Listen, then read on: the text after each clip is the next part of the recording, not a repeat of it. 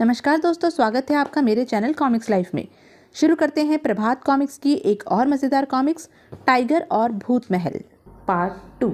उस व्यक्ति ने प्लास्टिक की थैली का मुँह खोला और उस थैली को चद्दर के नीचे सोए मूर्खानंद के पैरों के पास रख दिया। प्लास्टिक की थैली में से सांप निकला। वेटर फुर्ती से दरवाजे की ओर बढ़ा। बॉस, मुझे बहुत बड़ा इनाम देंगे? मूर्खानंद पलंग के नीचे सोया हुआ और पलंग की चद्दर इस प्रकार किनारे की ओर लटका रखी थी कि आने वाले की नज़र नहीं पड़ सके। पलंग पर तकियों का आदमी बनाकर चद्दर ढक दी थी। हम्म सतर्कता काम आई। वेटर को दरवाजे की ओर बढ़ता देखा तो फुर्ती से निकला और वेटर की ओर छलांग लगा दी। बच के कैसे जाओगे? मूर्खानंद के अचानक हुए हमले के कारण वह संभल न पाया और नीचे गिरा। अरे, तुम ज़िंदा हो? मूर्खानंद ने कूसों का कह ढा दिया। वह व्यक्ति बुरी तरह चीखने लगा। आह, बचाओ। उस व्यक्ति की तेज चीखें सुनकर होटल में उपस्थित लोग जमा हो गए। होटल मैनेजर ने मूर्खानंद को रोका। प्लीज़, छोड़ दीजिए। आप मुझे बताइए, क्या हुआ है आपके साथ? इसे पहचानते हैं आप? यह वेटर आपके होटल का ही है। मैनेजर की आँखें विस्मय से फैल गई। यह व्यक्ति होटल का वेटर नहीं है, लेकिन इसने इसी होटल के वेटर की वर्दी पहन रखी है। मूर्खानंद पलंग की ओर बढ़ा और उसने एक झटके से चादर खींची।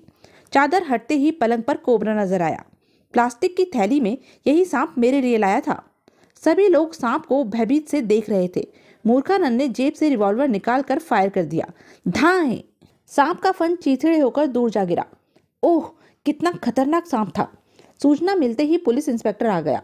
आपका बहुत बहुत धन्यवाद मिस्टर मूर्खानंद। इसकी तलाश कितने ही मामलों में थी। एक विशाल हॉल में एक दर्जन व्यक्ति उपस्थित थे। ऊँचे मंच पर बॉस उपस्थित था। सभी लोगों को उसने संबोधित किया। आज यह विशेष मीटिंग इसलिए बुलाई गई है कि अब हम लोगों के सिर से पानी ऊपर हो गया है। आप लोगों को मालूम है कि मूर्खानंद और टाइगर हमारी पकड़ में नहीं आए, बल्कि हमारे आदमियों को अंदर पहुँचा दिया। यह मेरी सतर्कता का परिणाम है कि टाइगर लाख कोशिशों के बावजूद असली अड्डे तक नहीं पहुँच सका। आप लोगों को कोई ऐसी तरकीब सोचनी है कि टाइगर हमारी पकड़ में आ जाए। सभी आदमी सोच में पड़ गए। एक आदमी अपने स्थान पर खड़ा हुआ। बॉस, मेरे मस्तिष्क में यह एक योजना आ गई है। कैसी योजना? टाइगर को फ़ोन किया जाए कि इस स्थान पर अपराधी छुपे हुए हैं। वह अपराधियों का नाम सुनते ही चल पड़ेगा। टाइगर बेवकूफ़ नहीं है। वह चलने से पहले ऐसे बहुत से इंतज़ाम कर लेगा कि हमारा प्लान फेल हो जाएगा। एक दूसरे आदमी के मस्तिष्क में यह योजना आई। वह उठकर खड़ा हुआ। बॉस, अचानक टाइगर को घेर कर हमला किया जाएगा। नो नो, टाइगर बहुत ही सतर्क रहता है। यदि उसे जरा सा भी शक हो गया तो समझ लो, सभी गए काम से। नत्थू खां अपने स्थान पर खड़ा हुआ। उसने अपने सभी साथियों पर नज़र डाली। बॉस, मेरे मस्तिष्क में बहुत ही ज़बरदस्त योजना आई है। हम न टाइगर पर हमला ही करेंगे, बस होटल के समीप एक गरीब बस्ती को आग लगा देंगे। अपनी पूरी योजना बताओ। बॉस चकरा उठा। उसकी समझ में नहीं आया कि आखिर नत्थू खां की योजना क्या है। नत्थू खां का चेहरा गर्व से चमक रहा था। छापा मार तरीका होगा। बस्ती में आग लगने की सूचना टाइगर और मूर्खानंद को मिल जाएगी और वह उस बस्ती तक अवश्य पहुंचेगा। बस हम लोग एकदम से हमला कर देंगे। टाइगर किसी कीमत में बच नहीं सकता। बॉस सोच में पड़ गया, नत्थू खां की योजना कामयाब हो सकती है। बॉस ने सभी आदमियों की ओर देखा, नत्थू खां की योजना में दम है, हम लोग इसी योजना को अमल में लाएँगे। बॉस, आप पूर्ण विवरण सहित समझाएँ। बस्ती में आग लगाने का मतलब सभी लोगों का ध्यान बस्ती की ओर आकर्षित कर देना है। पुलिस अधिकारी और टाइगर सूचना पाते ही बस्ती की ओर चल देंगे। बस हमें टाइगर के बाहर निकलने का इंतज़ार रहेगा। सभी व्यक्ति उस पूरी योजना पर सोचने लगे। बॉस नत्थू खां की योजना वाकई जोरदार है। हम लोग अपना मिशन रात 12 बजे शुरू करेंगे। सही समय रहेगा। सभी आदमी गहरी नींद में सो चुके होंगे। रात ठीक 12 बजे बॉस के आदमी बस्ती के समीप अंधकार में एक किनारे परिस्थिति का जायजा लेने लगे। बस चारों ओर सन्नाटा है। यदि इजाज़त हो, मैं ऑपरेशन शुरू करूँ? जाओ, बस्ती में आग लगा दो। नत्थू खां मन ही मन खुश होता हुआ रात के अंधेरे में बस्ती की ओर बढ़ा। बॉस मेरी योजना को मान गए। यदि पूरी तरह सफल हो गई तो मैं कमांडर हो जाऊँगा।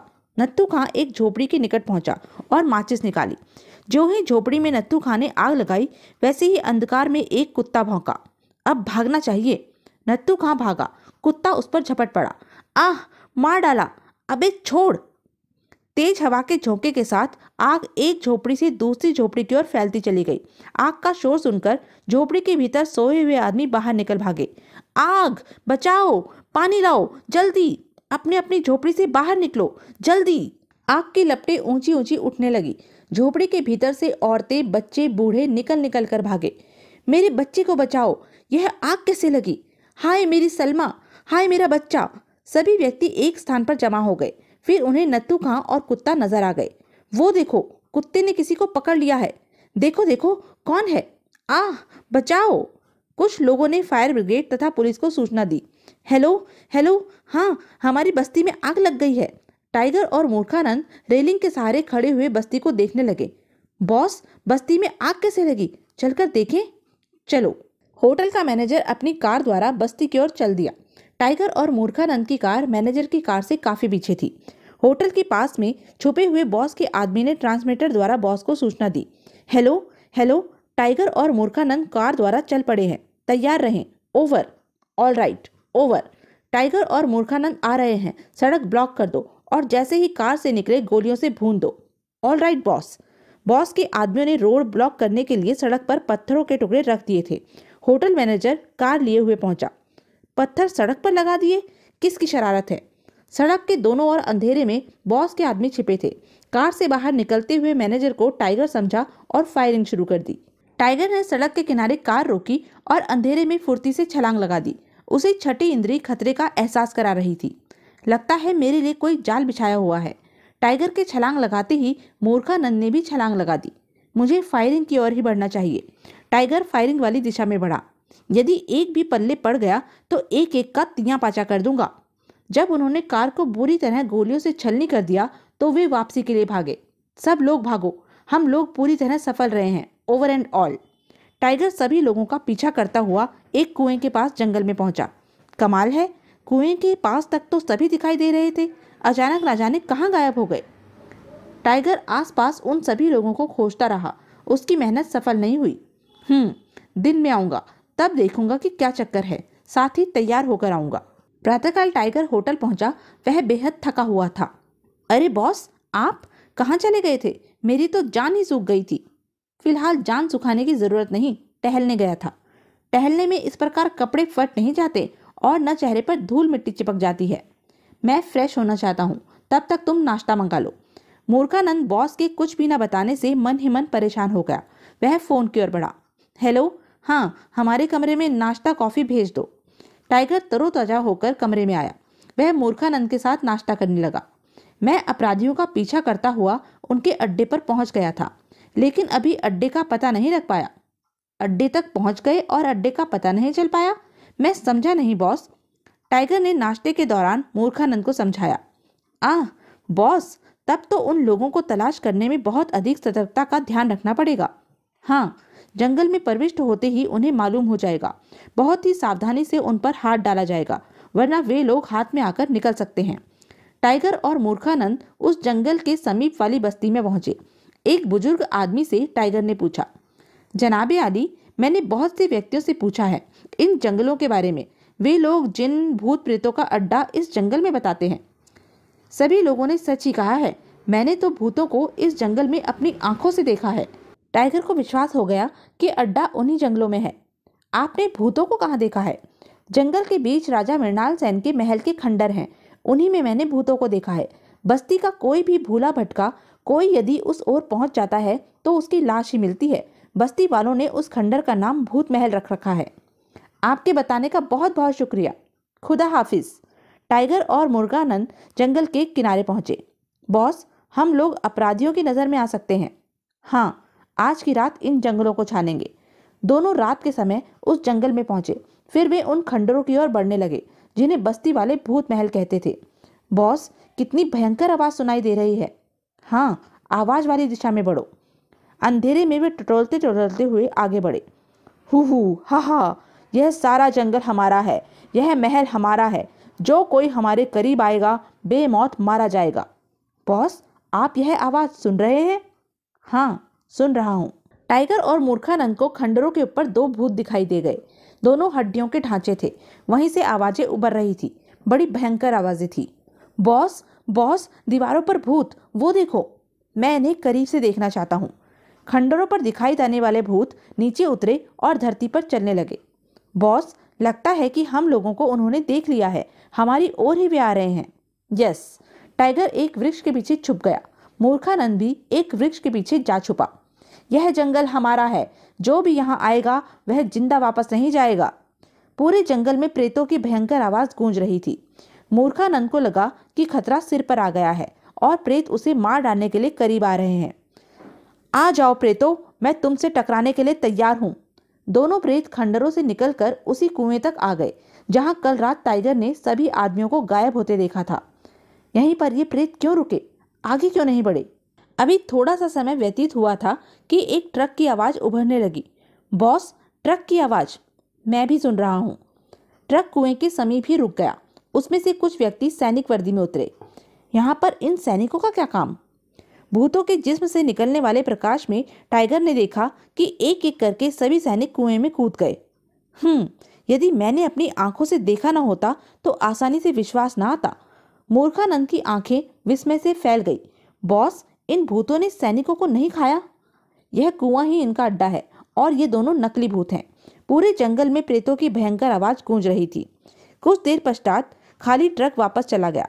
टाइगर और मूर्खानंद कुएँ की ओर बढ़े। तुम आसपास ही छिपे रहो। यदि मैं एक घंटे तक ना आया तो तुम सूचना दे देना। ऑल राइट बॉस टाइगर ने कुएँ में झांका। अंधकार के सिवा उसे कुछ भी ना दिखाई दिया। मुझे कुएँ के भीतर पहुँच जाना चाहिए। टाइगर ने नीचे छलांग लगा दी। टाइगर को ऊपरी बटन के बारे में मालूम नहीं था, इसलिए नीचे पहुँचते ही खतरे का अलार्म बज उठा। नीचे स्पंज के कारण टाइगर को चोट नहीं आई। ओह, खतरा! मुझे भागकर छुप जाना चाहिए। टाइगर फुर्ती से एक और भागा और एक कमरे में घुस गया और दरवाज़ा बोंड किया। नकली भूत अपने जिस्म से भूतों वाला लिबास उतार रहे थे। अरे, यह कौन आ गया? टाइगर, तुम लोगों की मौत। टाइगर का नाम सुनते ही उनकी आँखें विस्मय से फट गई। वे टाइगर पर आक्रमण करने के लिए सोच पाते, उससे पहले ही टाइगर उन पर झपट पड़ा। एक लंबी छलांग में टाइगर ने उन दोनों की गर्दन पकड़ ली। आ बचाओ! टाइगर ने पूरी शक्ति से दोनों के सिर आपस में टकरा दिए। दोनों समाप्त हो गए। बाहर का दरवाज़ा खटखटाया जाने लगा। ओह, मेरी खोज में यहाँ आए हैं। यहाँ से जल्दी निकलना चाहिए, वरना ये लोग घेर सकते हैं। टाइगर ने भूतों की पोशाक पहन ली। वह दरवाजे की ओर आया। उसने दरवाज़ा खोला। यहाँ पर कोई बाहरी आदमी तो नहीं आया? नो दरवाज़ा खटखटाने वाले सैनिक दूसरी ओर दौड़े। टाइगर पीछे वाले सैनिक पर झपटा। टाइगर ने उसे चीखने की मोहलत न दी। उसे घसीटता हुआ अंदर कमरे में ले गया और उसकी वर्दी उतारी। अब वह सैनिक वर्दी में सैनिकों जैसा था। मूर्खानंद एक घंटे तक प्रतीक्षा करता रहा और फिर वह मिलिट्री सीक्रेट सर्विस के चीफ से मिला। मेरा ख्याल है कि अपराधियों का बहुत बड़ा अड्डा है। यदि पूरी फोर्स के साथ हमला किया जाए तो सभी अपराधी पकड़ में आ सकते हैं। ऑल राइट right, मैं पूरी फोर्स को तैयार होने का आदेश दे रहा हूँ। टाइगर ने वह दरवाज़ा बाहर से बंद किया और सभी सैनिकों के साथ मिल गया। हम्म पूरा अंडरग्राउंड अड्डा बना रखा है। सभी पाकिस्तानी सैनिक हैं। एक बड़े से हॉल में मीटिंग हो रही थी। पाकिस्तानी सेना का जनरल मंच पर खड़ा हुआ अपनी योजना को समझा रहा था। आज से तीसरे दिन हमारी सारी सेना सीमा पर आ जाएगी। आज़ाद कश्मीर में हमने ऐसी स्थिति पैदा कर दी है कि यहाँ के लोग बगावत पर उतर आएँगे। भारतीय सैनिक उन लोगों को संभालेंगे और हमारी सेना हमला करेगी। बस कश्मीर पर हमारा कब्जा होगा। सुलेमान, तुम्हारा खेल खत्म हो चुका है। आज़ाद कश्मीर पर कब्जा करने का ख्याल छोड़ दो। जनरल ने अपना रिवॉल्वर निकालना चाहा। उससे पहले ही टाइगर ने उस पर फायर कर दिया। टाइगर के हाथों से तुम बच नहीं सकते। टाइगर को समाप्त कर दो। एक सैनिक भागता हुआ हॉल में आया। हमारे अड्डे को मिलिट्री फोर्स ने घेर लिया है। मिलिट्री फोर्स हॉल में आ गई। फोर्स के साथ मूर्खानंद भी था। सभी लोगों ने गिरफ्तारी देने में अपनी भलाई समझी। एक डायरी में सभी अड्डों के बागियों के नाम थे। वह भी अधिकार में ले ली गई। सभी को गिरफ़्तार कर लिया गया। आज आप दोनों की वजह से देश में इतनी बड़ी बगावत होने से बच गई। धन्यवाद। ये तो हमारा फ़र्ज़ था। तो यह थी टाइगर सीरीज़ की एक मज़ेदार कॉमिक्स। ऐसी ही मज़ेदार कॉमिक्स के लिए बने रहे मेरे साथ। और हाँ मेरे चैनल को लाइक, शेयर और सब्सक्राइब करना ना भूलें। धन्यवाद।